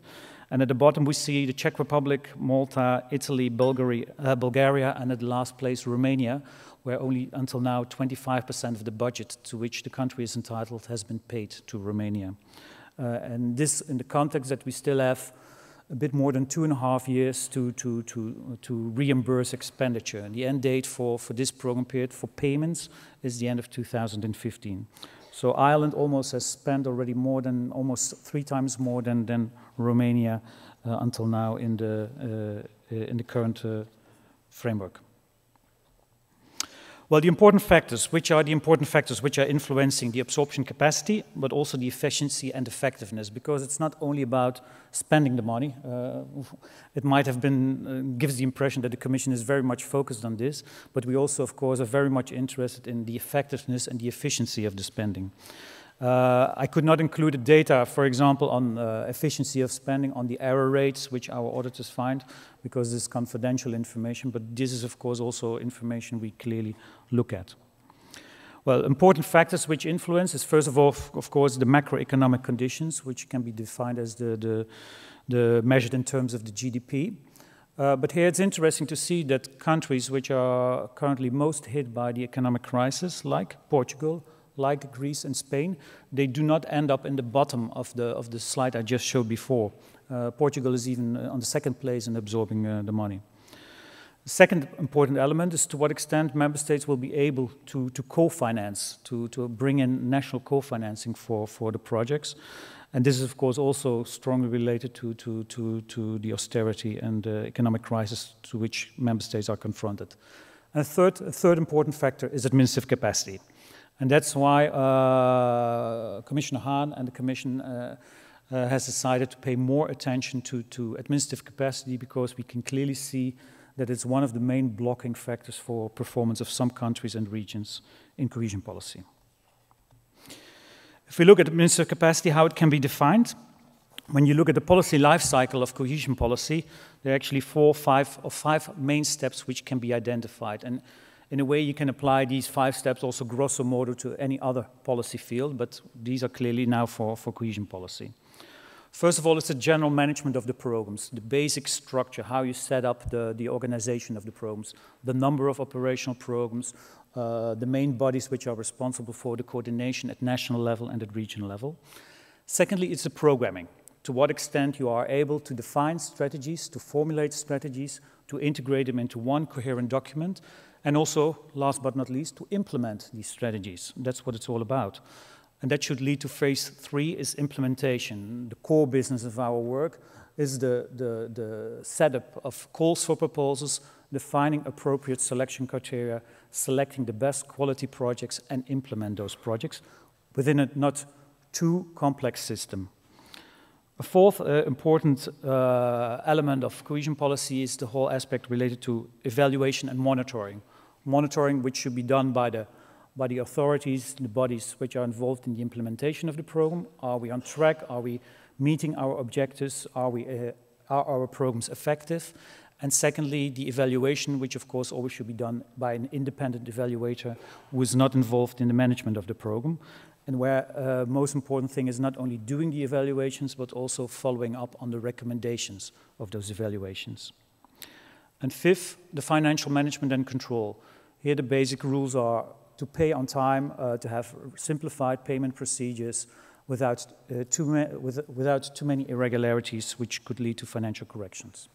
So these four or five, five uh, crucial elements of uh, cohesion policy can be grouped if, if, you want to look how you want to design each step of, of, uh, of this policy life cycle. There are three important factors, dimensions, which should be taken into account for each step. So first of all, it's the, the structure. Again, how do you set up the basic architecture? How do you plan? Uh, which are the key elements? How do you define responsibilities? And which are the key bodies involved in, in each step? Uh, that's the basic architecture. But of course, at the end of the day, the work has to be done by people. So you need to have the right people in place at the right moment and uh, with the right background. And third important element is systems and tools. Um, you have to set up a kind of organization where people can work together via, via the right guidance, manuals, uh, for example, information systems, so that uh, the, the, the systems can become more efficient. And if you group these two aspects, the five steps of the policy life cycle and the three dimensions, how to design each step in the policy life cycle, you can come to this assessment grid for measuring administrative capacity for cohesion policy. This is one model. When you read the literature, there are other models which are coming back, but they very often are based on the same basic, uh, basic aspects. And this is actually also a tool which we would like to use in our new unit for administrative capacity building, how to measure administrative capacity in each of the member states and individual regions. So, and it's important to take for each step these three interrelated factors into account structure, human resources, systems, and tools, and they, at the end of the day, define the functioning. So, maybe a few more words about these three dimensions uh, of structure, human resources, systems, and tools. Uh, structure, I already mentioned, it's first of all the basic architecture, the skeleton of uh, how you build up the, the, the management of the programs. And it starts with very simple things the number of operational programs. Uh, when we look at the, uh, the, the, overview and also of the plans now for the next program period, we see that the, the, the, the, largest number of the operational programs we see mainly in the, in the older member states, not so much in the new member states. By far leading the largest number of operational programs we find in Italy, in Spain, and in France, and not so much in the major recipients in the, in the group of new member states. An important other aspect is this clear assignment of responsibilities and tasks to the key institutions involved in, these, uh, in this organization. So the key bodies are the managing authorities, which are responsible for the management of the program, but they can sub-delegate tasks to intermediate bodies. And I think this is also a crucial, crucial uh, organization or element in the whole setup. Intermediate bodies are the organizations which are responsible for the daily management, organization for calls for proposals for specific sectors, informing beneficiaries, setting up information campaigns. So I think they are a very important linking pin to, to, to beneficiaries and the overall management of the program. And again, here we can see a clear, uh, another clear picture. For example, by far the largest number of intermediate bodies we find in Spain. And again, not so much in, in, in the new member states. Very complex organizations are set up in some member states where further streamlining is possible the level of subdelegation and degree of complexity. So on the top we have the managing authority, which can subdelegate tasks to intermediate bodies, and in many countries is even going further down to intermediate bodies of the second, and sometimes even of the third degree. You can already understand this, this can create a lot of complexities if you do not define upfront clearly who is responsible for what in each step. Um, again, giving an example, in Greece we have regional operational programs, so where the regional authorities are responsible for the management of, their, their, of the program for their region, but where a part of the subdelegation of the task is going to national ministries. So you can understand it creates complexities that the region is not really finally responsible for selecting the projects if it's partly depending on what a national ministry says as an intermediate body. Um, finally, an important element also is here the, the role of supervisor and ancillary bodies like a monitoring committee, which has to monitor the whole progress, where all the relevant uh, authorities, stakeholders, and also non-governmental organizations should participate. Auditors, of course, who have to check at national level if everything is implemented correctly, and also, in general, the partnership with uh, stakeholders and NGOs. And all this should lead to, to, at the end of the day, to a government effectiveness, where you can measure the effectiveness of the government. And once again, we, we of course, we look at the absorption of the budget, but also we would like to see that the money is spent effectively and efficiently. And this is just an overview of the government effectiveness indicators you might know from the World Bank, and where uh, you can see uh, which are the leading countries, uh, the Scandinavian countries, Finland, Denmark, Sweden, and then the Netherlands and Luxembourg, and at the bottom are Poland, Greece, Italy, Bulgaria, and Romania. And again, which for us, as administrative capacity center, is an important indicator to take into account for on which countries and member states we should focus. Human resources, I think that's relatively straightforward and easy to understand. You need to have the right people in place at the right moment and also with the right background. So first of all, you should be able as an organization to assess upfront uh, at what time you need how many people and in which organizations. So there needs to be a kind of a strategy behind how to allocate staff to the different organizations. And also how to recruit, recruitment policy, setting up transparent recruitment procedures is crucial in this respect. Um, and of course, the ultimate objective of this human resources policy is not only that you are able to attract the right people, but also to keep the, the people in the organization. Especially in new member states, we still see a problem with high staff turnover, where people are uh, recruited directly from the university, they gain working experience, and after one or two years, they leave again the organization to the private sector from, with more uh, attractive uh, labor conditions. And that, of course, has a negative impact on the building up of the know-how in the organization.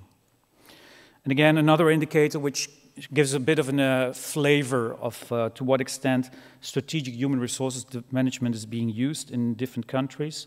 These data are based on data from the OECD, and where in this slide you can see that uh, the UK, Belgium, and Portugal are leading, and uh, Slovakia, Greece, and Hungary uh, are still lagging behind in implementing human resources management in a strategic way. The third element, systems and tools. Those are the whole set of documents, guidance, manuals, uh, monitoring systems, etc. All job aids which can help to ensure the effectiveness of the functioning of the system. And here, actually, the key thing is that this, these job aids should help to transfer let's say, the internal knowledge uh, which is available, let's say, in the heads of the, of the people working in the organization to externalize this and to, in a structured way, uh, and transform this into explicit, uh, explicit knowledge. Uh, and in this way, these systems and tools should make the organizations less vulnerable for, for example, high staff turnover, so that when people leave, at least the knowledge is kept within the organization. Just one, again, just one indicator you can look for is, of course, that we are trying to see to what extent uh, information can be more, become more and more available via the internet and via, via information systems. And here is an indicator to see to what extent e-government is being used by citizens uh, and where, to, to where you can see to what extent, let's say, information from the administration is made available via internet. And here we can see that, uh, again, the Scandinavian countries are leading, and at the bottom are uh, Romania, Italy, and Bulgaria. Data coming from Eurostat. Now I would like to move to the second part of my presentation and just to present to you what we are, who we are, and what we are going to do as a competence center for administrative capacity. As was said in the introduction, we are a new unit. Uh, we only exist since, uh, since the beginning of this year. And our focus is to support especially those countries and members uh, and regions which are now lagging behind, not only in absorption, but also in effectiveness and efficiency of spending. So our two targets are, first of all, key criteria is to see to, to what extent we can help to accelerate the, the, the absorption of the funds, but also to improve the quality of the spending. And that's our mission statement. the scope of our work, the scope of our work is that we focus on administrative capacity, but linked clearly to the management of the funds. So it's not about administrative reform in a wider sense, but clearly focusing on cohesion policy. Geographically, our focus is in those countries and regions, as already mentioned, which have the weaker administrative capacity. But horizontally, we also focus on those policies and bodies, organizations, which have an important impact on the effectiveness of our policy. And here, public procurement is, I would say, probably the most important policy, uh, but also environmental policy, state aid, but also organizations like a land register, which can have a, an important blocking factor on the success of our policy. Sectoral, we also would like to focus on, on those sectors which are lagging behind until now in absorption, but not for the sector as such, but clearly if these problems are, are linked to administrative capacity issues. And just to give one example, the railway sector is seen as one of the more problematic sectors all over the European Union, and we see there's a clear reason for this, which is linked to administrative capacity. Uh, another scope for our work, and that's also one of the main reasons for me to be here today, is knowledge development to be in contact with uh, other organizations. We're called a competence center on administrative capacity, but we do not pretend to, to have become an expert in administrative capacity in, in less than half a year. So we're really looking for input uh, and expertise uh, within the Commission from other DGs, but also from organizations outside uh, the European Commission. And a few are mentioned here, and of course, also RSA is seen as one of those important sources. At the end of the day, we would like to set up a, a database of good practice examples. Um, we clearly do not want to keep on uh, pointing out which countries, which regions are lagging behind and telling them over and over what their problems are. They are very much aware of this themselves. But we also would like to come up with solutions and how to see how problems are being addressed in other regions and member states within the European Union. We have two short-term objectives and two longer-term objectives. The two short-term objectives is that we are actually, what we are doing actually right now is stock taking. So trying to identify what are the key problems in each member state. And secondly, we also uh, are supposed to give guidance to, to the negotiations for the next program period to our country desks, specifically on the topic of administrative capacity, of course. For the longer term objectives, we are working on, as we call it, toolkits, but it's a kind of a term under which you can understand a lot, but where we would like to offer tailor-made solutions, especially for those member states which are most lagging behind, and where one key word is ownership. So where clearly we are not imposing solutions on member states, but we're offering them, and they should take them over, uh, because if there's no ownership on the side of the member states, it will fail. And uh, another uh, longer term objective is to look for more systemic solutions those are solutions which are in principle open for all member states and regions because some of the problems and bottlenecks occur in each member state and each region. And we believe that it's also good to address these more uh, issues in a more horizontal way. I would like to go, I have still have time? Yeah, good. Uh, I would like to go then through the four objectives and explain you a bit more in detail what we're doing right now. Stock taking, we're actually working now on, on country fiches, specifically focusing on, on administrative capacity, which we are preparing in principle for all the 28 member states, including also Croatia, uh, but with a focus on 15 member states where we know that most of the problems are concentrated. Uh, so this is more a kind of detailed qualitative description for each country. And the most basic data we summarize in an analytical grid. So the most key factual data are summarized there. And these are mainly related to the financial absorption, obviously, but also uh, findings from our auditors, so related to error rates, risk assessments, etc. And we also use general indexes from outside the Commission. And here we look, for example, at the, the governance indicators from the World Bank, uh, for example, the, the corruption rates, which are prepared by Transparency International. And we group all this information in one document for each member state in order to get a kind of X-ray picture on the status of uh, the administrative capacity in each country.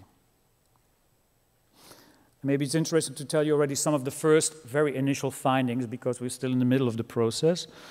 Um, but for example, when we look at the complexity of the administrative organizations in member states, and I mentioned it already before, it's not so much that we find the most complex organizations in the, in the let's say, in the new member states. I think when we negotiated the programs uh, when the new member states joined in 2004, so it's not any more that many. Actually, I should not say any more those new member states, but the member states were joined in 2004. Uh, we see that we managed to, to negotiate relatively streamlined and simplified programs and administrative organizations, whereas we still see the largest number of operational programs I mentioned before in Italy, Spain, and France, uh, the most complex organizations in Greece and in Italy, and for example, the largest number of intermediate bodies we find back in, in Spain. So especially also in those countries, there's scope for further simplification and streamlining. When we look at the management of the programs, that they are which sounds obviously, but they should be linked to the existing national and regional administration. But again, we see cases like in the Czech Republic, where in this program period we have regional programs at NUTS 2 level, whereas there was no administrative organization, existing organization in the Czech Republic at NUTS 2 level. So partly because of the structural funds, a new structure had to be built up, and I think the overall conclusion was that it was no, not so successful. In Romania, they plan to organize regional operational programs for the next program period, whereas the strength of the regions, of the regional administrations, is still rather weak. So for us, it's very important that the management of the programs is linked to existing organizations which have proven to be functional and operational. High staff turnover we still find back in some of the member states, and especially some of the new member states. And we see in many cases there's a lack of clear human resources strategies. Recruitment procedures are intransparent and uh, people are not recruited on, on objective uh, selection criteria. Um, strategic plans are being developed and they are existing, but very often they are being prepared because the Commission is asking for it, but not always they are concretely followed up. From my own experience in, in Poland, I could see, for example, we worked on a master plan for the railway sector, uh, which should be the, the, strategic framework for investments in the railway sector. But in the implementation, it was hardly followed up. Totally different projects appeared finally for financing than the ones which were identified in the, in the plan. So really the, the implementation of those strategies is crucial. We still also see that, especially at local level, among the smaller beneficiaries, the project development capacity is weak, and that also excludes very often these smaller beneficiaries from participating in the funds. And that would also be for us an important area to focus on in the next program period. Some sectors are underperforming. Uh, I mentioned already the railway sector, but also some environmental sectors, wastewater treatment, solid waste treatment in some of the member states are underperforming, partly because of reasons linked to administrative capacity. One important bottleneck, the area where we apply almost two-thirds or almost three-fourths of our financial corrections is linked to public procurement. So obviously it's an area where we have to pay more attention to, to raise awareness. Public procurement legislation in most of the member states has now been correctly transposed, so legislation is in most of the cases correct, but the implementation is still lagging behind. So there's still a lot of work to be done on awareness raising. And finally, as John already mentioned as well, uh, we still see in many member states insufficient monitoring systems. The monitoring of the financial absorption is in most of the member states perfectly in place, but really to measure the impact on the base of indicators, target setting, etc., that's an area which is lagging behind. So it's very, not in each country, it's equally possible to measure the effectiveness of our investments.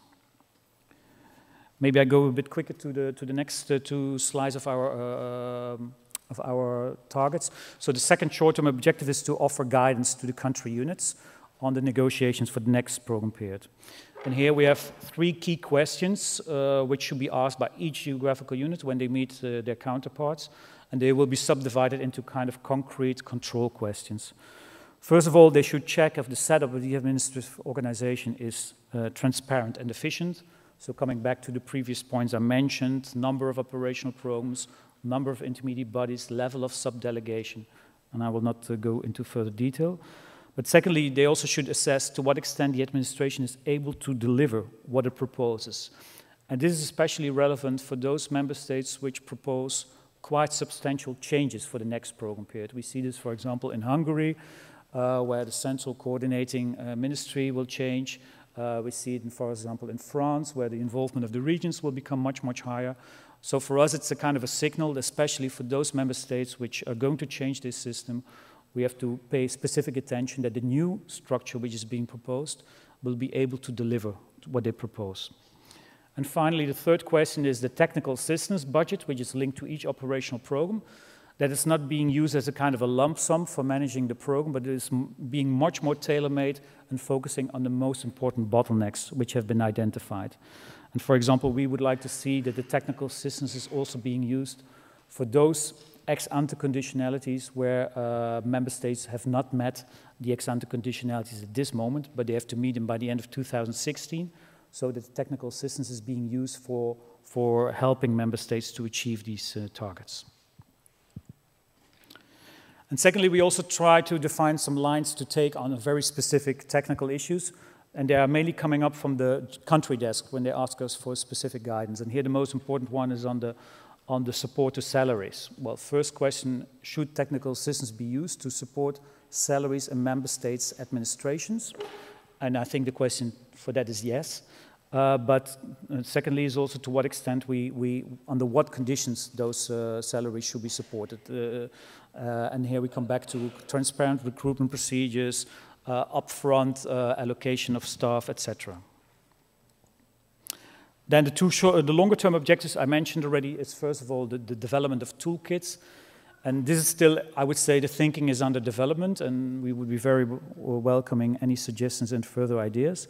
But here we think mainly about exchange of experts, so a kind of a twinning instrument as it was used during pre-accession, but then now mainly focusing on those member states and regions which are most lagging behind. Uh, we look at targeted trainings and workshops, so really focusing on the specific needs of each country. And also we look for joint actions with, uh, which are available from international financial organizations. And finally, it's important to think also about the delivery method. We can develop all kind of nice instruments and tools, but at the end of the day, it needs to be taken over by the member states. So this element of ownership is crucial. And the other uh, more longer term objective, and also this is more under development, where we would like to address the needs of all member states and regions. When we think about, for example, public procurement, we apply financial corrections uh, not only in, let's say, in the member states with a weaker administrative capacity, but all over, uh, all over Europe. So there's a need for, for example, for this area to, to look in a much more wider sense in addressing all member states and regions. And also on the systemic solutions, we would like to investigate further which methodologies exist to measure administrative capacity. Um, we have been looking a bit at literature, but certainly more, more can be further explored. We are launching a study on to what extent salaries are being supported right now by, by the structural funds. And uh, in general, we also would like under this heading to cooperate further with external organizations because, just to conclude, we are called Competence Center, but we are certainly do not pretend to have the knowledge at this moment in the House on, on administrative capacity building. So thank you very much for your attention.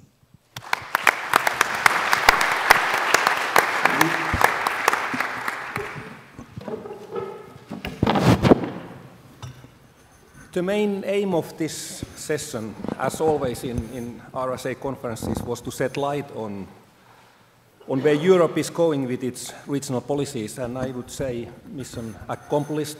Thank you very much, all the three speakers. It was excellent overview where regional policies is going in, in Europe. And now there is time for questions. And we have the fastest mic in Europe. It's ready to cross the whole Europe by bicycle if needed. So who is willing to ask the first question, comment? There is one in behind. Yeah.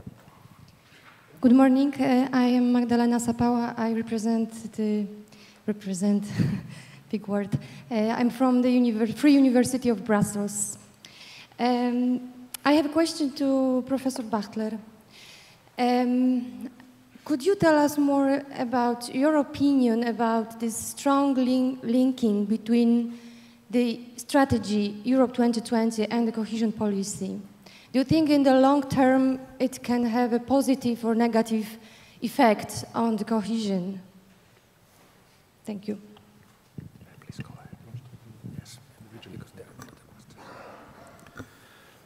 Okay, thank you. Um, I mean, that's that's a very good question. Um, I mean, Europe, Europe 2020 is essentially um, has, has a number of objectives. It's about um, it's about improving growth. It's about um, improving employability.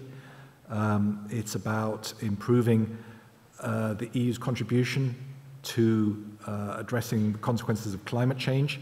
Um, so, so it, it has a number of overarching objectives. It was, of course, developed uh, in economic circumstances which are quite different from now. Um, and some of its ambitions, like um, achieving investment uh, in R&D of 3% of GDP, uh, look very, very ambitious, um, certainly in some, uh, in, in, in, in, some countries. Um, cohesion policy, or a lot has been promised from the ability of cohesion policy to, um, to achieve these, the, the, these objectives. Um, and the argument is that, well, you have to, um, you have to ensure that any strategies are localized or regionalized, they're adapted to, to, to, to local circumstances. Um, and thus, uh, cohesion policy has the experience, the resources, the capacity um, to, to, to, do that. Um, the problem is, is that um, while all the member states have signed up to these uh, over, overriding objectives, when it comes to actually implementing, uh, implementing them through, through cohesion policy, it faces immediately a number of constraints. Um, the those designing programs uh, may not feel that the issues set at European level and translated down through the member states are the issues that are most pressing for them, or that they're not necessarily issues that they can fund because they don't have um, the much funding, or that those aren't, those are, those are issues that um, they don't have the capacity to, to, to deal with. Uh, and what so often is the case in European negotiations um, is that you have these overall commitments which are signed up to by prime ministers and, and, and, and, and chancellors and so on. And then um, in, the, in, the, in the negotiations on the detail of the, of the regulations, um, they get progressively diluted and, and weakened. And so what we've seen is a process in the current negotiations is that whereas the Commission started off by saying, well, we need to spend 80%, you need to spend 80% of your funding um, in the richer regions on small firm competitiveness, on R&D, and on low carbon. Um, member states have been saying that, well, we don't, we don't really like that. We want to spend more on, maybe on, on sort of broadband infrastructure, or we want to spend it on a more, on a wider range of, of, of, of, of, uh, uh, of, of targets. Um, so there is a gap, there is an implementation gap, if you like, between, between ob objectives and, uh, and reality. Um, the other issue is the degree to which those are um, the, the Europe 2020 targets are, are the most pressing issues right now in, in many parts of Europe.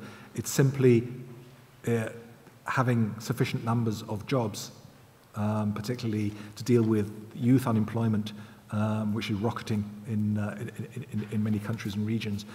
So there's a question of a balance being struck between these longer term, creating these longer term conditions for, uh, for, for economic growth in the European Union and dealing with the, uh, the consequences of the crisis. So um, that's a long way around of say, a long way around of saying that it's, it's, it's, it's still very open as to whether a cohesion policy can deliver. Yeah, there is an implementation gap. Somebody might call it as a leadership gap. There is a question from behind. Daya Roschke, University of St. Andrews. I have two comments um, to Michael. Um, you presented single key economic um, indicators to measure uh, city success, and I was wondering whether uh, we should think of more integrated uh, indicators to measure city success, for example, to look at um, how economic growth was used um, when there was economic growth, used to uh, reduce um, inequality in cities, for example, to look whether um, there was a correlation between um, GDP growth and um, the sorts of jobs um, that were created in cities or housing quality. So I was wondering whether you developed uh, new ideas how to think about cities' success. This is exactly the discussion we now have in the UK about indicators um, to measure success. And my se second comment is on, um, I mean, the, the results you showed um, clearly displayed that uh, the outcomes uh, of uh, economic uh, success was different um, considering different uh, urban systems. So I was wondering uh, whether you looked at uh, differences in um, yeah, more decentralized urban systems and their outcomes and um, highly centralized urban systems and their outcomes. Yes, Michael. Okay, um, let me confess, as I get older, I hear less. So if I fully understand that question, I've been getting translated here. Um, part of the problem um, when you're doing this work is, is trying to talk about a lot of countries which are in very different positions at the same time. So you end up with, I think, very simple indicators. I mean, you know, we all know GDP is not a very good measure of anything, but we use it because it's the only thing we can use. So um, for taking basic measures of competitiveness, we tend to take GDP per capita, total, and employee. When, however, we dug in um, to the experience of particular places, we tried to use much more sophisticated measures. And of course, the obvious point is you can't get very good sophisticated measures which are robust and comparative across a large number of uh, cities. So we're slightly struggling. Um, our study, in a way, was trying to paint a picture of the overall performance and standing of a series of cities and a series of countries. When you get down to the policy implications, I think you need to have a very different set of indicators, much more customized, much more qualitative. And certainly in the case studies, um, you're trying to get measures of some of these issues that John is now talking about um, crime, health, youth unemployment we actually have very few robust indicators of social issues across Europe. So I think there is a challenge of how we improve the level of indicators. Um, I think that's all I have to say. There is one more question. We'll take two more questions, from, one from behind and one from here, and then we'll see if there is coffee available. Um, please. Yes, I also have a question on the same issue in relation to Michael Parkinson's presentation. Um, I was interested that in this European study on cities, um, the focus is really on countries and looking at cities within national systems, national ur urban systems. And I would have thought at this stage that there is enough analysis at a conceptual and empirical level that we now see cities within global networks and within global systems rather than within national systems. So I would be interested if you can explain this methodological territorialism, if you like, implicit in the research. And for example, at the empirical level, if the globalization and world cities analysis and indicators, um, if that approach could add to the analysis. Okay, I'll do, I'll do a mayor culpa on that, as a matter of fact. I, I entirely agree. We, tried, we were not asked particularly to look at the global dimension, so we did look within nations and within Europe. So that is a mayor culpa. I entirely agree. And there's a lot more to be done on that, but happy to talk about it later. Yeah, my, hello? Yeah. My name is Ulrich Graute. I'm uh, working at the Division for Public Administration at the Secretariat of the United Nations, and I'm a member of the RSA board. Uh, I have a remark and question to, to John and, and, and Pascal. When I used to work here in Europe, working for Interreg fund management, I had the impression, and I was, always was told, that the EU system is so unique, and that also the problems we face here in Europe are so unique because there is nothing like the European Union in the world. Then I went to the United Nations in 2008 and tried to forget all of it because I also had the impression that in the UN system, in development management, things are so different. And so I could tell you now for half an hour what are all the differences. But then I heard especially the presentation from John and, and the list of problems you gave. I could give you examples from the UN system with exactly the same list of, of problems. And it's a bit the same with the presentation of John Boijmans. And now my, my question is, what do you think? How unique is, is the uh, situation you are facing? And are you comparing it with other uh, systems? I uh, took note that um, the EU is, is looking for cooperation with other organizations. That's, that's certainly good. The question, but again, the question is, what do you think? How unique are the management problems you're facing in European cohesion policy and regional policy? Thank you. Well,